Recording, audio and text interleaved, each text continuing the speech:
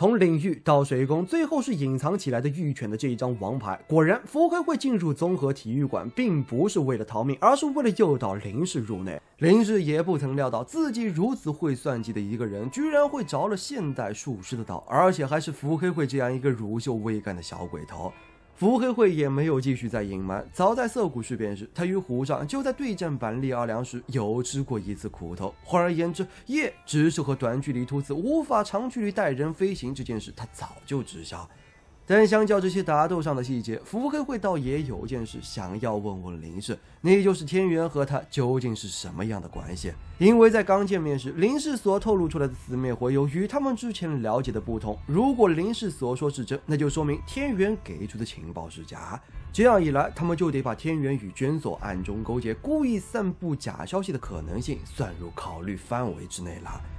可林氏却颇为不屑，并将天元比作是家里蹲的老不死。这个反应证明，腹黑会的天元威胁论应该是他多虑了。就在此时，林氏主动送出四十一分，而他这么做无关捐索与死灭回游，单纯的只是想在临死前行最后一善，因为他有种预感，这样做会让事情变得更加有趣，让他这个原本就是来凑热闹的人能死得其所。拜托你了，是你杀了我。所以你一定要受尽命运的捉弄，像个小丑一样死掉。先有虎杖在众人的簇拥下死去的诅咒，后又有伏黑会像个小丑一样孤独死去的诅咒。术士的临终遗言是否真的会变成诅咒，是否真的会成真，暂时不得而知。但随着伏黑会又有虎风入帐，林氏的故事也就此画上了休止符。而街道上，黄如哲与高于史燕的战斗仍在继续。干掉他了吧？还没有，千万别大意，他很顽强的。感觉有被冒犯的黄如哲全然忘记了身在何方，挥拳便打。可没想到那拳头竟然直接划了开去。你搞什么飞机啊？为什么你全身都是润滑液啊？有可能是勾芡汁哦。吵死了，去死吧！我靠，还真是勾芡汁啊！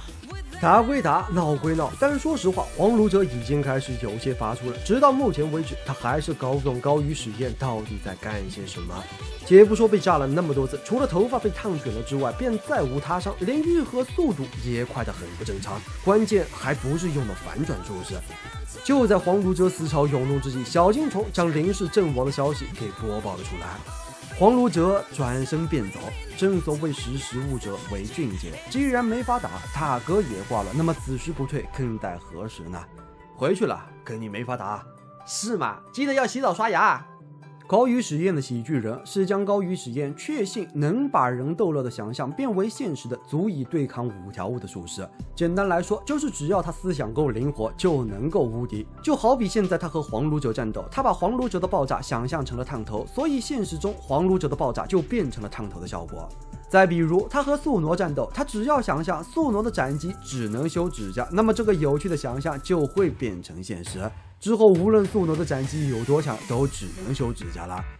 但遗憾的是，高于实验对于自己的术士目前还一无所知。见黄如哲要走，急忙在后搓起小手，要起游戏风来，唯恐伏黑会交给他的任务有个闪失。另一边，丽美正在街道里疯狂奔跑着。其实，她只是一个生活在男女不平等的世界，被灌输了女孩子只要可爱就会有大灰狼来保护，不需要自己努力的美丽工具罢了。可工具终究还是工具，一旦价值高于需求，就会被无情抛弃。而现在，那个曾经披着人皮、曾经说着“我爱你”的大灰狼，已经不再需要她这个美丽的废物了。所以，留给丽美的只剩下了死亡。黑影闪过，玉泉出现于面前。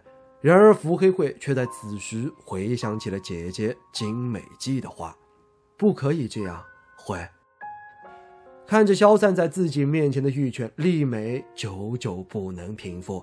与此同时，伏黑会也因力竭扑通滑倒在地，白色的羽毛在阳光下缓缓飘落。自称天使的千年前的术师现身于东京第一结界。按照天元的描述，天使的术士是可以解除一切术士，其中也包括可以解除封印五条悟的玉门江。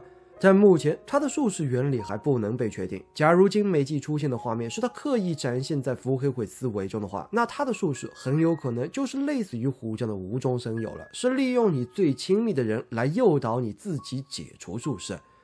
宫城县仙台市十一月十二日十一点二十八分。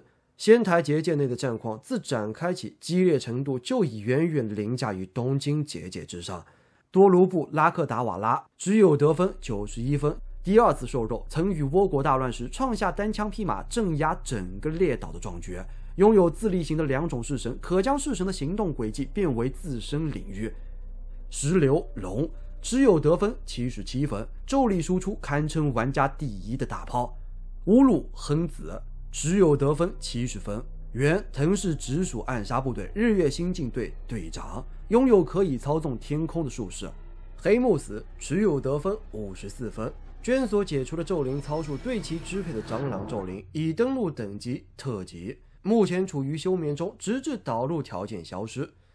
以上四者之间没有同盟，但在彼此相抗衡的实力与错综复杂的相信作用下，形成了相互牵制的四方混战。然而，其中的一角却已经陨落。实施杀戮者正是纯爱战士乙骨犹太。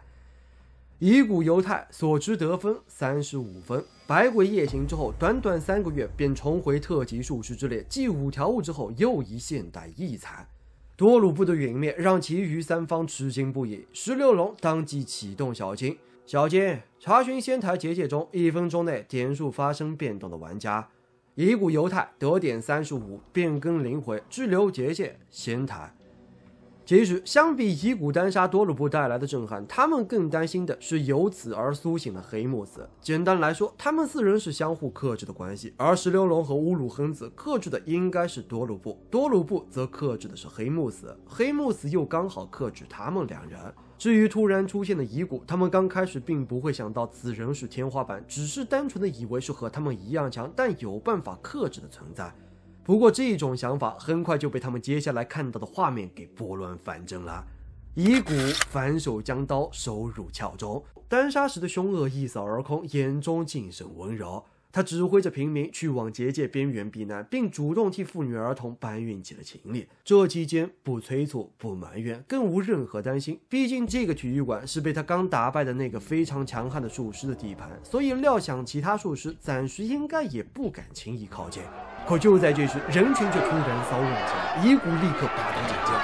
竹间的前方，似是一股黑水在急速流动，追逐的已吞噬掉一个平民。眼看另一人也将被追上，一股强步上到近前，探手想要搭救。而那黑水的真实样貌也终于得以被看清，竟全是大大小小的蟑螂。不等乙骨做出反应，蟑螂潮就淹没了那人的下半身，所到之处皆化作为了白骨。原来这些活着的蟑螂，每一只都附着着咒力，单体的话确实构不成什么威胁，但集结成群就很危险了。乙骨见状，着地一沉，召唤出李湘，拦住他们！